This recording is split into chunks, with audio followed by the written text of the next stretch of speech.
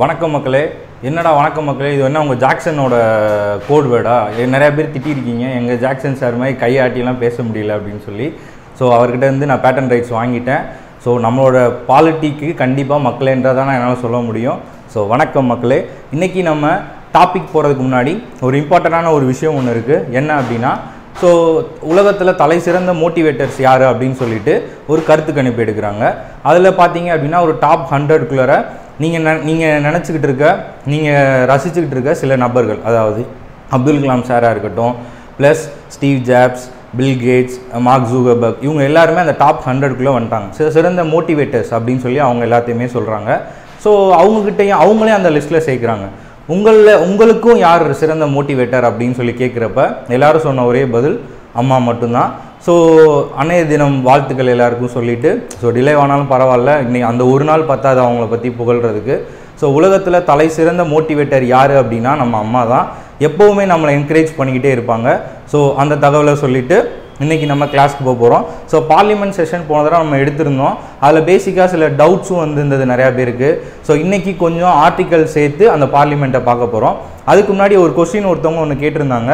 பார்லிமெண்ட்டில் லோக்சபா ராஜ்யசபா ரெண்டு இருக்குன்னு சொல்லி சொல்லியிருந்தோம். ஸோ லோக்சபாவில் மட்டும்தான் வந்து பிஎம் இருப்பார்? அதாவது பிரைம் மினிஸ்டர் இருப்பாரா அப்படின்னா அப்படி கிடையாது. ஸோ ஒரு மக்களால் தேர்ந்தெடுக்கப்பட்ட உறுப்பினர் பிஎம் ஆகிற ஆகலாம் ஆகாமல் இருக்கலாம். அதே மாதிரி அவர் ராஜ்யசபா மூலியமாகவும் ஒரு பிஎம் ஆகலாம். இல்லை ரெண்டுலேயுமே அவங்க வந்து ஒரு உறுப்பினர் இல்லை அப்படின்னா அவங்கள பிஎம்மாக செலக்ட் பண்ணலாம். பண்ணதுக்கப்புறம் பார்த்தீங்க அப்படின்னா அவங்க ஆறு மாதம் ஒரு ஆறு மாதம் இடைவெளி எடுத்துக்கணும். அதுக்குள்ளே நடக்கிற எலெக்ஷனில் அவங்க ஜெயிச்சு அங்கே வந்து அவங்க பிஎம் நிற்கிறதுக்கு வாய்ப்பு இருக்குது சரியா? ஸோ அவங்க வந்து ஃபஸ்ட்டு உள்ளே போகிறப்பவே வந்து அவங்க வந்து உறுப்பினராக இருக்கணுமானா அப்படின்றது கிடையாது. அவங்க லோக்சபா ராஜ்யசபா ரெண்டில் ஏதாவது ஒரு உறுப்பினராக இருக்கணுன்றது அவசியம் கிடையாது. ஆறு மாதம் கழித்து தேர்தல் வச்சு அதில் யார் செலக்ட் ஆகிறாங்களோ அவங்களும் உள்ள பிரதமராக வாய்ப்புகள் இருக்குது சரியா மக்களே? ஸோ இன்றைக்கி நம்ம கிளாஸில் என்ன பார்க்க போகிறோம் அப்படின்னா பார்லிமெண்ட் தான் அகைன் ஸோ லோக்சபா ராஜ்யசபா தான். ஸோ இதில் சில இம்பார்ட்டன்ட் டேர்ம்ஸ் எல்லாமே இருக்குது ஸோ நிறைய பேர் ஆர்டிக்கல் வச்சு சொல்லுங்கள் அப்படின்னு சொல்லி சொல்லியிருந்தீங்க. ஸோ எல்லா ஆர்டிக்கலும் படிக்கணுன்றது அவசியம் கிடையாது. நமக்கு பேசிக்காக சில ஆர்டிக்கல் மட்டும் தெரிஞ்சுக்கிட்டால் போதும். கீழே இருக்க ஆப்ஷனில் நாலு ஆப்ஷனில் ஏதாவது ஒன்று எலிமினேட் பண்ணி கண்டுபிடிச்சிக்கலாம். ஸோ ஃபஸ்ட்டு பார்த்தீங்க அப்படின்னா பிரைம் மினிஸ்டர் பிரைம் மினிஸ்டர் பற்றி பார்லிமெண்ட்டில் பிரைம் மினிஸ்டர் இருப்பாருன்னு சொல்லியிருக்கேன் நான்.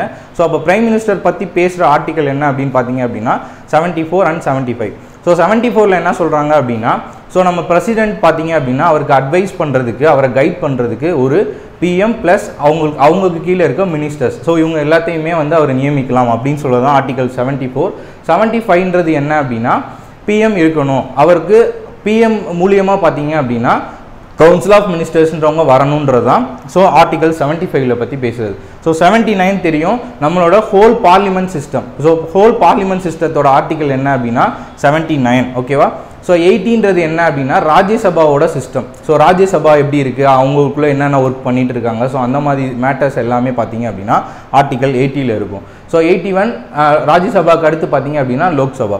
ஓகேவா ஸோ எயிட்டி ஒன்றது லோக்சபா சிஸ்டம் பற்றி பேசுகிறது ஸோ அகைன் அதுக்கடுத்து பார்த்தீங்க அப்படின்னா பிரசிடென்ட் வந்து பார்த்தீங்க அப்படின்னா நம்மளோட பார்லிமெண்ட்டில் வந்து பேசுவார். எப்போ எப்போ பேசுவார் அப்படின்னா எப்போவுமே ஒரு இப்போ ஒரு வருஷத்தோட முதல் கூட்டம் அதாவது இந்த பட்ஜெட் செஷன் சொல்லுவாங்கள்ல ஃபஸ்ட்டு செஷன் ஸோ அந்த செஷனில் வந்து பேசுவார். அதுக்கப்புறம் புதிதாக ஒரு மக்களவை தேர்ந்தெடுக்கப்பட்டால் அந்த அந்த அமைச்சரவைக்கு அந்த மக்களவையில் வந்து அவர் பேசுவார். ஸோ இப்போ நடந்துட்டு இருக்க எலெக்ஷன் பார்த்தீங்க அப்படின்னா பதினேழாவது மக்களவைக்கு உண்டான எலெக்ஷன் நடந்துட்டு இருக்கு ஸோ இப்போ மே இருபத்தி மூணாந்தே ரிசல்ட் வந்ததுக்கப்புறம் புதுசாக ஒரு கவர்மெண்ட் ஃபார்ம் பண்ணாங்க அப்படின்னா அந்த கவர்மெண்ட் பதவி ஏற் பதவி ஏற்றதுக்கப்புறம் நம்மளோட பார்லிமெண்ட்குள்ளே வரப்போ பார்த்தீங்க அப்படின்னா ஸோ பார்லிமெண்ட்டில் ஃபஸ்ட்டு ஃபஸ்ட்டு ஸ்பீ ஸ்பீச் கொடுப்பாரு நம்மளோட பிரசிடென்ட்டு ஸோ அந்த ஆர்டிக்கல் என்ன அப்படின்னா எயிட்டி செவன்றது ஓகேவா ஸோ அட்டார்னி ஜென்ரல் யார் இவர்? அட்டார்னி ஜென்ரல்ன்றது யார் அப்படின்னா ஸோ நம்மளோட மத்திய அரசு அதாவது சென்ட்ரல் கவர்மெண்ட் ரிலேட்டடான இஷ்யூஸ்க்கு அவர் போய் கோர்ட்டில் ஆஜராவார்.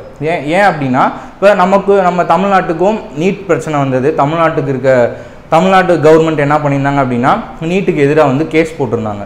ஸோ அப்போ தமிழ்நாடு சார்பாக ஆஜராகிற வழக்கறி ஆஜராகிற வழக்கறிஞர் அங்கே பார்த்தீங்க அப்படின்னா சென்ட்ரல் கவர்மெண்ட் சார்பாக ஆஜராகிற வழக்கறிஞர். ஸோ நம்ம தமிழ்நாடு லெவலில் தமிழ்நாடு அரசோட வழக்கறிஞர் என்ன சொல்லுவாங்க அப்படின்னா அட்வொகேட் ஜென்ரல்னு சொல்லுவாங்க. ஸோ சென்ட்ரல் கவர்மெண்ட்டில் சென்ட்ரல் கவர்மெண்ட்டோட க வழக்கறிஞர் என்ன சொல்லுவாங்க அப்படின்னா அட்டார்னி ஜென்ரல் அப்படின்னு சொல்லி சொல்லுவாங்க. இவர் இவருக்கு என்ன ஒரு ஸ்பெஷல் இது என்ன இருக்குது அப்படின்னா இவர் நம்மளோட பார்லிமெண்ட்டில் ரெண்டு செஷன்லேயுமே போய் பேசலாம் இவர் நினச்சார்னா அதாவது பார்லிமெண்ட்டில் உறுப்பினர் இல்லாத ஒருத்தர் போய் பேசுகிறாரு அப்படின்னா அவர் யார் அப்படின்னா நம்மளோட அட்டார்னி ஜென்ரல் தான். ஸோ அட்டார்னி ஜென்ரல் போய் பார்லிமெண்ட் செஷனில் கான் பார்ட்டிசிபேட் பண்ணுவாருன்றது சொல்கிறது என்ன அப்படின்னா எயிட்டி எயிட். இவரோட ஒரிஜினல் இது பார்த்தீங்க அப்படின்னா செவன்ட்டி சிக்ஸ். சரியா? ஸோ செவன்ட்டி சிக்ஸ் ஆர்டிக்கலில் அட்டார்னி ஜென்ரல்ன்ற விஷயத்த சொல்லியிருப்பாங்க. ஸோ நெக்ஸ்ட் பார்த்தீங்க அப்படின்னா நமக்கு ஆல்ரெடி பேசியிருக்கோம் ராஜ்யசபாவோட சேர்மன்றவர் யார் அப்படின்னா நம்மளோட வைஸ் பிரசிடென்ட் தான். ஸோ அவர் பற்றின ஆர்டிக்கல் ப்ளஸ் வைஸ் பிரசிடென்ட் வந்து எங்கே இருப்பார் அப்படின்னா ராஜ்யசபாவோட சேர்மன் இருப்பார். ஸோ அதுக்கு ஒரு வைஸ் சேர்மன் இருப்பாங்கள்ல ஸோ இவங்கள பற்றின ஆர்டிக்கல் என்ன அப்படின்னா எயிட்டி நைன் ஓகேவா ஸோ அடுத்து லோக்சபாவில் ஹெட் யாராக இருப்பார்? ஸ்பீக்கர் இருப்பார் நம்ம ஆல்ரெடி பார்த்தோம். ஸோ டெபுட்டி ஸ்பீக்கர் இவங்களை பற்றி பேசுகிற ஆர்டிக்கல் என்ன அப்படின்னா நைன்டி த்ரீ ஓகேவா ஸோ பார்லிமெண்ட் செக்ரட்டரி அதாவது பார்லிமெண்ட்டில் பார்த்தீங்க அப்படின்னா இவங்க எல்லாமே இருப்பாங்க. ஸோ அந்த எக்ஸிக்யூட்டிவ் லெவலில் இருப்பாங்கல்ல ஹை லெவலில் ஸோ அவங்க ஒர்க் பண்ணுற சிஸ்டம் என்ன அப்படின்னா இந்த பார்லிமெண்ட் செக்ரட்டரி அப்படின்னு சொல்லி சொல்லுவாங்க. ஸோ இதை பற்றின ஆர்டிக்கல் வந்து நைன்டி எயிட் ஓகேவா மக்களே? ஸோ அடுத்து பார்த்தீங்க அப்படின்னா ரொம்ப ரொம்ப முக்கியமான சில விஷயங்கள் இருக்குது சரியா?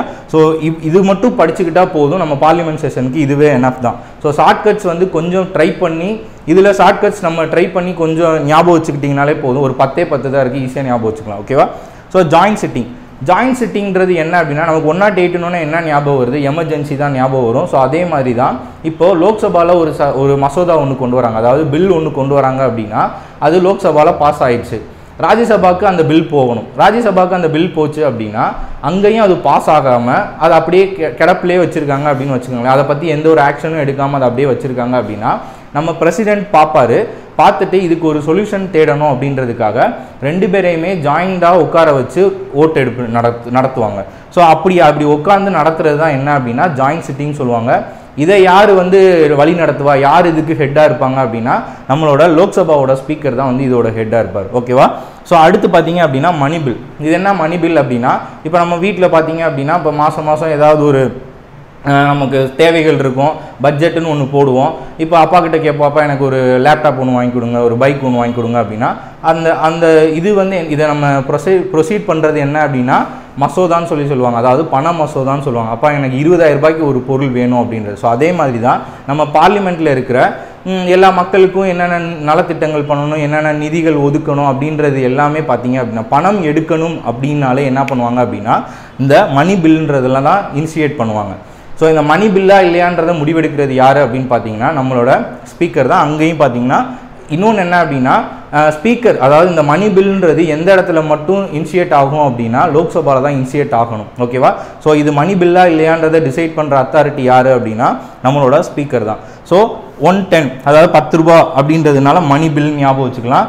எமர்ஜென்சி அப்படின்னா ரெண்டு பேருக்கும் ஏதாவது ஒரு முடிவு எடுக்கணும் அப்படின்னா so joint sitting one naught eight ஞாபகம் வச்சுக்கலாம். ஸோ டுவெல் ஸோ ஒரு வருஷத்துக்கு ஒரு தடவை தான் பட்ஜெட் தாக்கல் பண்ணுவாங்க.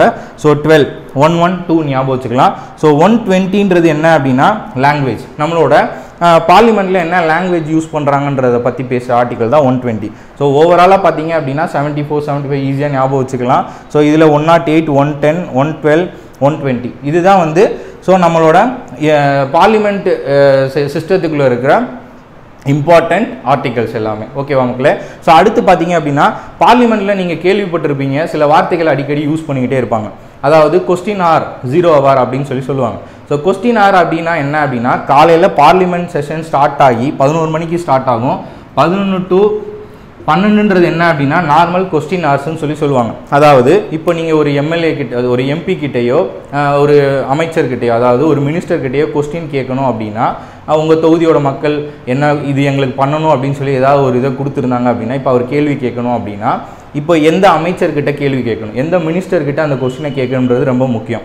இப்போ சுகாதாரத்துறை ரிலேட்டடான கொஸ்டின்ஸை வந்து அந்த சுகாதாரத்துறை அமைச்சர்கிட்ட தான் கேட்க முடியும். ஸோ அப்படி ஒரு அமைச்சர் அது ஒரு அமைச்சர் அல்லாத ஒரு எம்பி ஒரு எம் எங்கே வந்து நம்ம தமிழ்நாட்டில் எம்எல்ஏன்னு கூட வச்சுக்கோங்க. எம்எல்ஏ எம்பி இவங்க எல்லாமே அந்த மினிஸ்டர்கிட்ட கொஸ்டின் கேட்கணும் அப்படின்னா நார்மல் கொஸ்டின்ஸ் கேட்பாங்க அப்படின்னா அது வந்து காலையில் பதினொன்று டு பன்னெண்டு பார்த்தீங்க அப்படின்னா இந்த நார்மல் கொஸ்டின் ஆறுன்றது போயிட்டுருக்கும் இந்த கொஸ்டின்லேயே பார்த்தீங்க அப்படின்னா த்ரீ டைப் ஆஃப் கொஸ்டின்ஸ்னு சொல்லுவாங்க. என்ன அப்படின்னா starred question unstarred question short term question அப்படின்னு சொல்லி சொல்லுவாங்க. ஸோ நம்ம இங்கே எழுதியிருக்கோம். ஸோ ஸ்டார்டு கொஸ்டின் அப்படின்னா என்ன அப்படின்னா இப்போது நீங்கள் அந்த அமைச்சர்கிட்ட இந்த கேள்வியை கேட்குறீங்க அப்படி அந்த இடத்துல ஆன் தி ஸ்பாட்லேயே என்ன பண்ணலாம் அப்படின்னா இந்த கேள்வியை நீங்கள் அவர்கிட்ட கேட்கலாம். கேட்டுட்டு திரும்ப அகைன் நீங்கள் பார்த்தீங்க அப்படின்னா அடுத்த கொஸ்டினும் அவர்கிட்ட கேட்கலாம். இது வந்து ஃபேஸ் டு ஃபேஸ் கேட்குறது தான் வந்து என்னென்னா ஸ்டார்டு கொஸ்டின்றது அன்ஸ்டார்டு கொஸ்டின்றது என்ன அப்படின்னா அவருக்கு என்ன பண்ணுவார் அப்படின்னா ரிட்டர்ன் ஃபார்மேட்டில் நீங்கள் கேட்ட கேள்விக்கு பதில் கொடுத்துருவாரு. ஸோ நம்மளால் அகைன் அடுத்த கொஸ்டின் கேட்க முடியாது. புரியுதா உங்களுக்கு என்னென்னு? இப்போ ஒரு கொஸ்டின் கேட்டிங்க அந்த ஆன் தி ஸ்பாட்டில் ஒரு கொஸ்டின் கேட்டோம் அப்படின்னா அவர் சொல்கிற தகவல் உங்களுக்கு சரியாக வரல அப்படின்னா உடனே அடுத்த கொஸ்டின் கேட்கலாம். ஆனால் இந்த அன்ஸ்டார்டு கொஸ்டினை பொறுத்த வரைக்கும் என்ன அப்படின்னா உங்களுக்கு நீங்கள் கேட்ட கேள்விக்குரிய பதில் வந்து பார்த்தீங்க அப்படின்னா ரிட்டர்ன் ஃபார்மேட்டில் தான் கொடுப்பாங்க. ஸோ அகைன் நீங்கள் அடுத்த கொஸ்டின் கேட்க முடியாது. அது என்ன ஷார்ட் டேர்ம் கொஸ்டின் அப்படின்னா பதினாலு நாளைக்கு முன்னாடியே நீங்கள் அவங்கக்கிட்ட இந்த அமைச்சர்கிட்ட இந்த கேள்வி தான் நான் கேட்க போகிறேன் அப்படின்றத அவருக்கு கொடுத்துடணும். அவர் வீட்டில் உட்காந்து ஹோம்ஒர்க் பண்ணிவிட்டு கொண்டு வந்து அது ரிலேட்டடான இன்ஃபர்மேஷன்ஸை பார்லிமெண்ட்டில் சொல்லுவார். ஸோ இப்போ ரொம்ப கஷ்டமான சில விஷயங்கள் இருக்கும். நீங்கள் இது வரைக்கும் இத்தனை வருஷமாக சுகாதாரத்துறைக்கு என்ன பண்ணீங்க அப்படின்னா ஆன் தி ஸ்பாட்டில் அவரால் சொல்ல முடியாது. ஸோ என்ன பண்ணுவார் அப்படின்னா பதினாலு நாளைக்கு முன்னாடியே அவங்களுக்கு இந்த கொஸ்டின்ஸ் பற்றி சொல்லணும் நீங்கள் ஸோ அப்போ அவங்க ப்ரிப்பேர் பண்ணிட்டு வந்து இந்த விஷயங்கள் எல்லாத்தையுமே எடுப்பாங்க. ஸோ இவ்வளோ தான் பார்லிமெண்ட் பற்றின விஷயங்கள் எல்லாத்துலேயுமே பார்த்தீங்க அப்படின்னா நம்ம first video and second video இது பார்த்தீங்கனாலே பார்லிமெண்ட் செஷன்றது ஓரளவுக்கு ஞாபகம் வந்துடும் so again already again again question கேட்டுகிட்டே இருக்காங்க அப்படின்னா எதில் கேட்பாங்க அப்படின்னா இந்த joint sitting money bill budget language so இதில் தான் ஆல்ரெடி கேட்டுகிட்டே இருப்பாங்க. மெயினாக கேட்டணும் அப்படின்னா இப்போ ஏன்னா இப்போ கரண்ட் சுச்சுவேஷன் என்ன லோக்சபா எலெக்ஷன் போயிட்டுருக்கு. ஸோ பிரதமர் பற்றி கொஸ்டின்ஸ் கேட்கலாம். அதாவது பிரைம் மினிஸ்டர் பற்றி கொஸ்டின்ஸ் கேட்கலாம். ஸோ அதுக்கடுத்து பார்த்தீங்க அப்படின்னா ராஜ்யசபாவோட ஆர்டிக்கல் என்னன்னு கேட்கலாம். லோக்சபாவோட ஆர்டிக்கல் என்னன்னு கேட்கலாம்.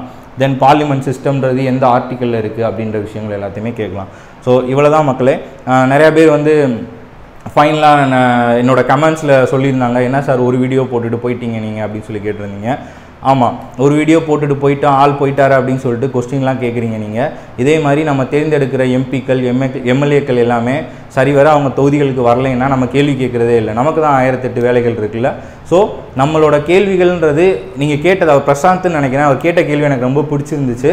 ஸோ அதே மாதிரி தான் எல்லாருமே கேள்வி கேட்கணும். இந்த இன்றைக்கி இன்னைக்கு நான் என் என்னோட ஆறாயிரம் வியூவர்ஸ் பார்த்துருந்தீங்க. நீங்கள் எல்லாமே வீடியோவை ஷேர் பண்ணாட்டினாலும் பரவாயில்ல. குறைந்தபட்சம் ஒரு பத்து பேருக்காவது நீங்கள் ஒரு ஒரு ஆள் ஆறாயிரம் பேர் ஒரு பத்து பேருக்கு சொல்லி கொடுத்தீங்க அப்படின்னா ஒரு அறுபதாயிரம் பேர் ஆகிடும் ஸோ இந்த விஷயங்கள் எல்லாமே ஒரு அறுபதாயிரம் பேருக்கு போயிடும். ஸோ நம்ம இப்போ இருந்து கொஞ்சம் கொஞ்சமாக இனிஷியேட்டிவ் பண்ணோம் அப்படின்னா மக்கள் எல்லாருக்கும் இதை பற்றின விழிப்புணர்வு கொடுக்கலாம். சரியா? ஸோ கண்டிப்பாக நம்ம இந்த விழிப்புணர்வை கொண்டு போய் எல்லா மக்களுக்கும் சேர்க்கணுன்றதை சொல்லிட்டு அரசியல் பழகுன்ற இதை முடிச்சுக்கிறேன் நான். நன்றி மக்களே.